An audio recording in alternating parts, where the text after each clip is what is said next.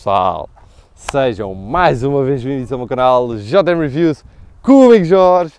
Bem, hoje temos aqui mais um episódio dos usados, é verdade, agora tenho experimentado aqui alguns e é muito bom, porque vocês sabem desde que eu comecei o canal, pá, está a ser fantástico de facto ter contacto aqui com carros, ter experiências destas e experimentar um, carros que nem são bem da minha altura, nem de quando eu tinha naturalmente a carta, mas carros que eu tenho de facto muita curiosidade, sempre tive muita curiosidade, é fantástico. E isso só o YouTube, neste caso, é que consegue proporcionar. Um, e portanto, o que é que eu tenho aqui hoje? Tenho comigo mais um Mitsubishi, é verdade, e não é um Mitsubishi qualquer. Ainda depois do, in, do início do ano, exato, ter experimentado aquele Evo fantástico, pá, brutal. Uh, mas a Mitsubishi tem aqui mais carros interessantes. Este foi um deles. Para quem não sabe, isto é um Colt CZT, o T creio que é de turbo, turbo turbocharged, este bloco, um, e é um Pocket Rocket, um Pocket Rocket da Mitsubishi, sim. Hoje em dia a gama, enfim, é o que nós conhecemos, mas a Mitsubishi já teve de facto aqui carros interessantes e este é um deles. Um, hoje vamos falar sobre ele, naturalmente, mas antes de seguirmos o vídeo, não se esqueçam de subscrever o canal, é o melhor que fazem para não perderem nada.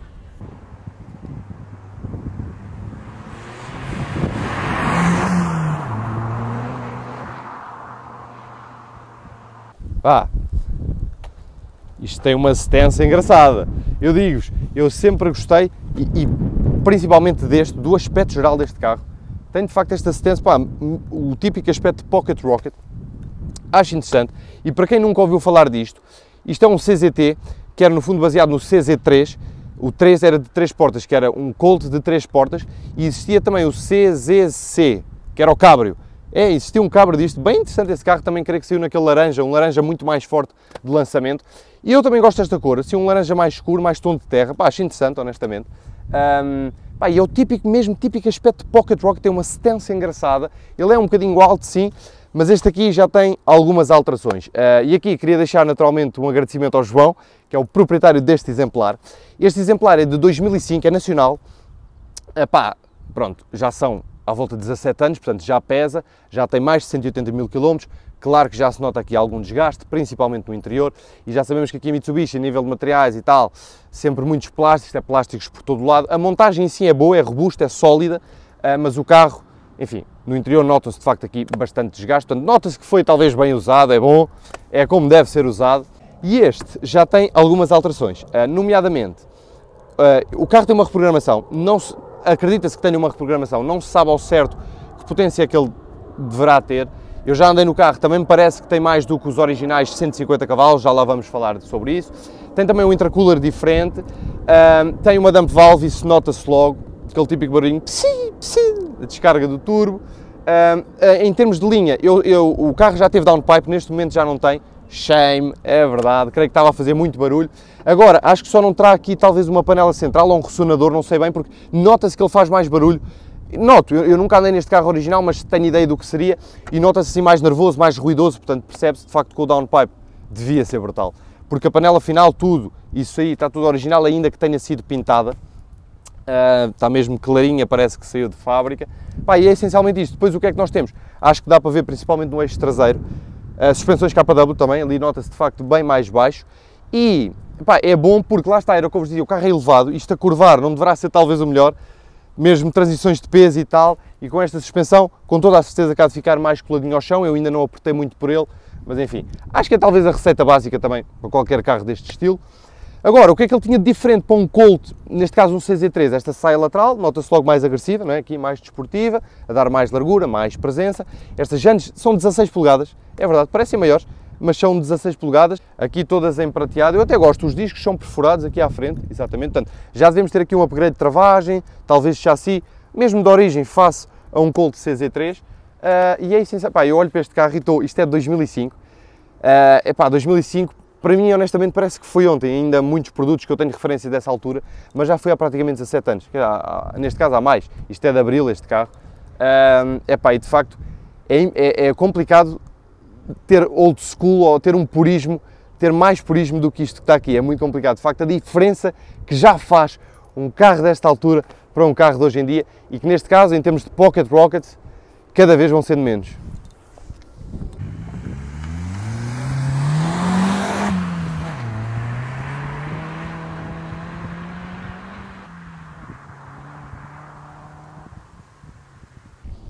Pá, aqui atrás eu creio que a única diferença, as únicas, é o aileron, bem expressivo.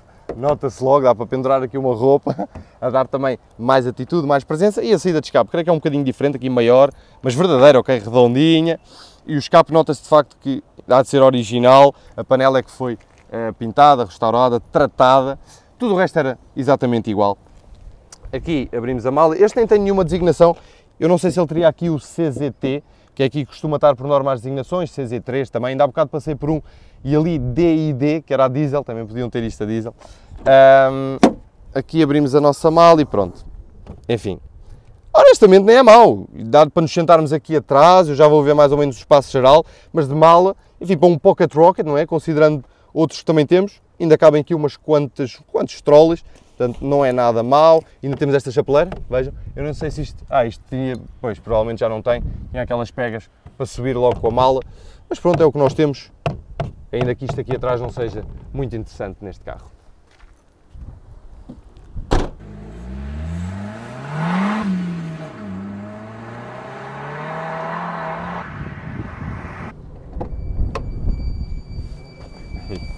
Bem, e falando em sensação de purismo e old school, acho que não há mais do que isto. Honestamente, mal entramos aqui, logo, quadrante, completamente analógico, tudo o que são aqui ecrãs, eu creio que isto é tudo, hum, é tudo monocromático, creio que será isso. Uh, pá, mesmo o quadrante é todo ali em branco, o fundo em branco, conta rotações ali, entrada às 6500 mais ou menos, o red line, Pá, o rádio, pronto, é tudo super pequenino e lá está, tudo recheado de plásticos. Nota-se claramente que, enfim, é, era um carro que chegávamos aqui, conduzir e acabou, não temos grandes luxos, grande tecnologia, nada.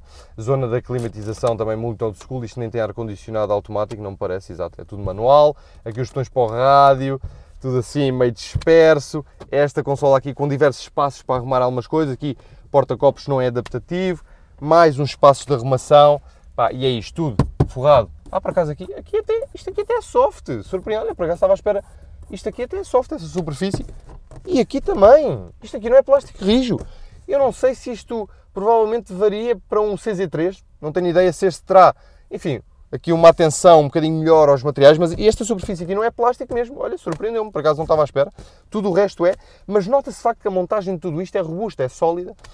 Um, mas pronto, aqui temos naturalmente alguns elementos de desgaste, logo aqui também na, na manete, no próprio volante. Ele é perforado, isto acredito que seja pele, esta zona. Os estofos de tecido, pá, estofos normalíssimos, com algum suporte, até notamos logo aqui para as pernas, zona lateral também, são confortáveis. Eu tenho 1,76m, Vejam-me o tamanho, lá está, dada a plataforma dele, ele é assim gordinho, alto.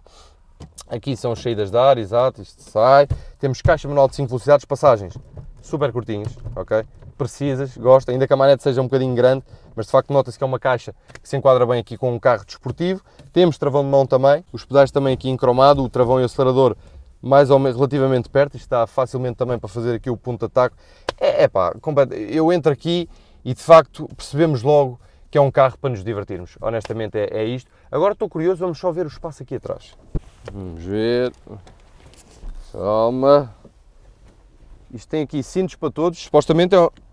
dá para nos sentarmos aqui 5 pessoas. Ora, 1,76m em cima da cabeça ainda tem isto, ok? Portanto, nota-se de facto aqui um, um carro com, com algum espaço. Deixem-me ver só aqui o banco. Ui, isto está para a minha posição de condução. Vejam o espaço de pernas. Aí é gigantesco. E honestamente estou perfeito aqui atrás mesmo. O carro é gordinho, pá, super espaçoso aqui atrás. Tudo em tecido também. Pá, surpreende, nada mal. Em termos de versatilidade, para um carro lá de três portas, not bad. Agora vamos conduzir, que é isso que interessa.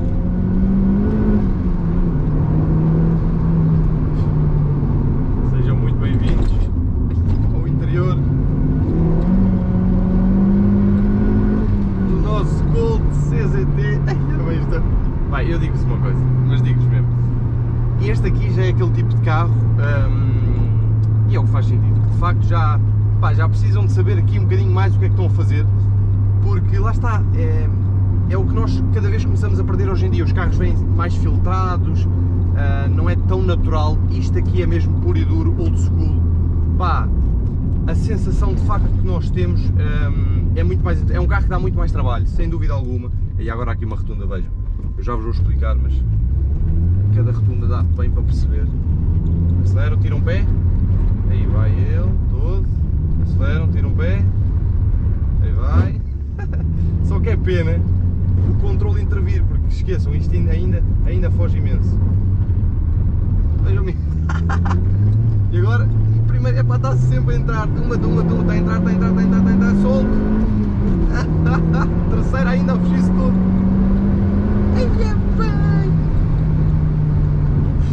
Sim, claramente isto tem aqui mais de 150 cavalos. Bem, esta suspensão, ah pá, pá, esta suspensão é do mais rijo, de facto fez aqui, mas fez muita diferença, porque nós temos um contacto muito maior, eu acredito, do que se estivesse de origem. Porque lá está, o carro é um bocadinho elevado, o contacto é brutal, é mesmo isto que é preciso para nos sentirmos conectados à estrada e, e conectados ao carro. Quer dizer, tudo aqui faz sentido. Aí que coisa louca. Vocês não estão a perceber, pá. Isto. Mas mesmo assim, ele, ele, ele sofre de facto de alguma subviragem ainda, bastante até na verdade, mas, mas muito controlada. É mesmo muito controlada. Vocês basta tirarem o pé, sentimos logo um pouco da traseira o que é que eu gostava que tivesse aqui que não existe, que, pá, de facto era perfeito. Eu creio que era perfeito e eu digo este carro está-me a surpreender e é, e, é bastante. E não é pouco, e não é muito. É que não dá para desligar o controle. Se desse para desligar o controle aqui, porque ele está sempre, sempre, sempre a intervir. Claro que nunca, dá, nunca, pá, nunca perdemos a, aqui a compostura, nunca. Pá, vejam isto, é qualquer rotunda. É só acelerar, tirar pé. Muito simples. Sentimos logo a traseira, acelerar, tirar pé. Acelerar, tirar pé pá, é, é, da coisa mais natural que existe, mais natural que existe. Agora, o controle não permite é muito. Sentimos logo ele intervir, trava aí uma roda e o carro estabiliza. Portanto, é do mais natural, do mais intuitivo mesmo. Portanto, ainda conseguimos que ele solte a traseira, ainda conseguimos sentir um carro um bocadinho mais versátil, um bocadinho mais ágil, mas não totalmente. Portanto, aqui de facto, se desse para desligar totalmente o controle era brutal. Até porque, por exemplo, nós puxamos uma segunda, às vezes até em terceira, como fiz há bocado, primeira também, e o carro vai sempre, sempre, sempre a batalhar com o eixo dianteiro, o controle sempre, sempre, sempre a intervir. Mas é super desafiante, era aquilo que eu falava. Isto ainda é um carro que dá trabalho, um bocadinho de trabalho a conduzir, um bocadinho desafiante, uh, e de facto, se tivéssemos a possibilidade de desligar o controle, era muito mais interessante ainda. Ei meu Deus, é mesmo faca nos dentes este, old school, puro e duro, pá, adoro isto. Adoro isto, é que já não se faz isto hoje em dia, honestamente já não faz, porque nós aqui temos uma sensação, parece maior de, de perigo e isso é interessante. E portanto, para a malta que gosta de conduzir, eh, sabe perfeitamente o que é que eu estou a falar. Portanto, este carro epá, é muito interessante. Uma pena, uma pena que isto esteja a perder de uma maneira. Epá, que carrinho. Como é que é possível? Um carro que é. Aqui o propulsor, isto é um 1500, 1500, 4 cilindros, com turbo. Ele parece-me que entra ali um bocadinho antes das 3, uh, eh, sentimos bem. E de, de origem 150 cavalos e 210 de binário. Contando que isto não tem muito mais este carro não pesa muito mais de 1200 kg, acho que é à volta disso. A relação peso-potência está ok. Nem sei se até nem é um bocadinho menos. Pá, este, como vos disse, claramente que já deve ter aqui uns pozinhos. Sente-se. Pá, isto, eu sinto um carro, eu não queria arriscar, mas sinto talvez um carro, vejam isto, sempre entrar, entrar, entrar, entrar. Uh, e sentimos sempre o pss da descarga. Uh, eu não queria estar aqui a falar de números, mas não sei, parece-me aqui uns 170 se calhar, uns, não, pá, sinto um carro com mais de 150 cavalos, talvez um bocadinho mais de binário, uh, porque o carro desenvolve bem, pá, desenvolve bem, aqui até a quarta e tal, ainda não puxei muito, mas aqui segundas, terceiras, nota-se claramente. Epá, e honestamente não é preciso muito mais, eu digo, eu diverti-me, eu estou-me a divertir à brava com este carro, à brava mesmo, pá. É que isto, epá, eu digo, é talvez dos carros mais old school, mais puristas que eu experimentei aqui nos, nos últimos tempos, dentro dos Pocket Rockets. Ainda agora há pouco tempo trouxe aquele Polo GTI, epá, não tem nada a ver, nada a ver, nada a ver, digo este carro pá, dá um trabalhão muito maior, muito mais desafiante. Ei, pá, que coisa fantástica, pá.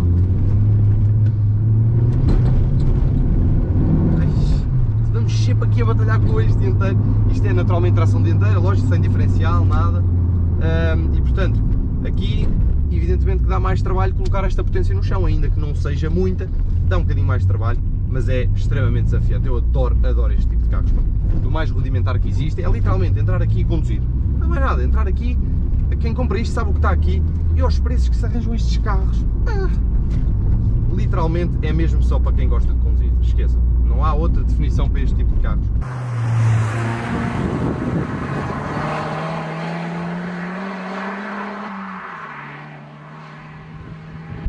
Aqui as alterações feitas eu creio que beneficiaram bastante.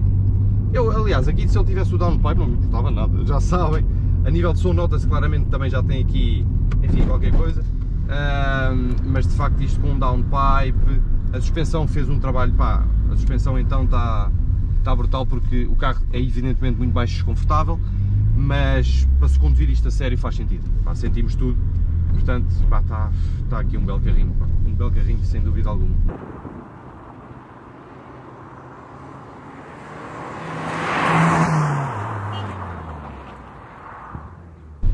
Direção, isto é um bocadinho pesado ainda, não temos assim muito contacto, mas ao mesmo tempo agrada-me, é, é, é, natural, mas um bocadinho pesada. Ah, mas em todo o caso, e por exemplo nas contrabrecagens e tudo, é tudo muito natural, muito intuitivo. Acho que está tudo aqui mais ou menos na medida certa.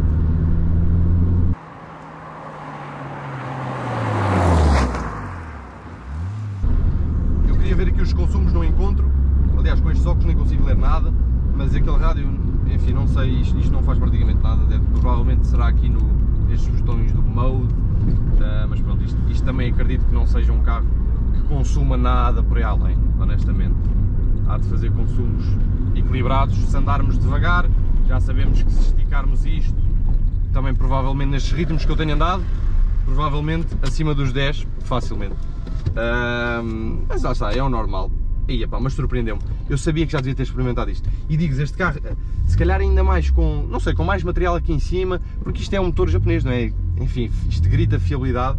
Portanto, é aqueles carros que nós sentimos que mexemos, podemos fazer praticamente o que quisermos dele e eles aguentam. Uh, e de facto este carro tem aqui ainda muito potencial, pá, digo-vos mesmo. Digo-vos mesmo, pá, isto, isto a conduzir a sério, carregado a sério, está aqui um carrinho bem interessante, pá. Eu já sabia que devia ter experimentado isto também. Ah, vejam isto. Primeiro nem vale a pena, ele vai imprimir aí, faz um rastro no asfalto. É pá, mas adoro. É divertimento puro, pá. como é que é possível um carro já com 17 anos, pá, super básico e em termos de propulsor também nada por aí além. E o que eu me diverti hoje, pá, segundas, terceiras, contra-bracagens, rotundas, o desafio de meter a potência no chão, é pá, mesmo o som não é nada especial, mas enfim, já somos brindados aqui com um ruído que acaba por contribuir para toda esta experiência de condução. Uh, não há muito mais a dizer, pá é divertimento. Honestamente, quem compra isto eu acho que sabe o que está aqui. Se não sabe, vão saber e vão saber muito bem. Este carro grita divertimento.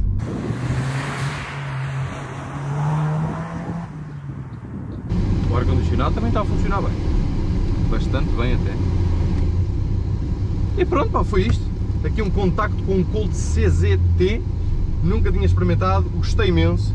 E se estão à procura de um Pocket Rocket já pá, japonês, fiável, que não, de facto, não acredito que isto vai dar assim problemas, para se divertirem, ui, apostem nisto. E eu, eu digo-vos, deste para as outras versões, faz bastante diferença no aspecto do carro. Eu até gosto, eu não costumo gostar nada deste aspecto assim de mini MPV, não é? E de facto alguns Pocket Rockets têm, um, mas eu gosto do aspecto geral deste carro como está, gosto desta cor. Ei, é isto, acho que não tenho mais nada a dizer, pá, honestamente. Grande carrinho, grande carrinho, pá grandes likes, partilhas, comentários. Sigam no site barra blog jmreviews.pt, página de Facebook e Instagram. E não se esqueçam de subscrever o canal para não perderem nada. Já sabem que é o melhor que fazem sempre. Hoje foi tudo e eu volto em breve com mais vídeos para vocês. Gostei muito disto, pá, muito disto. Pá. Eu, eu digo-vos mesmo, até. Eu, epá, mas é que isto acontece imensas vezes, pá. Claro que este aqui já tem uns pozinhos, não é? já tem aqui algumas alterações, mas não estava à espera, não estava à espera de gostar tanto, pá, eu acho gostar tanto do potencial que isto tem, pá, num carro destes, pá. Nós olhamos para os números, para tudo, não... Ei, como assim?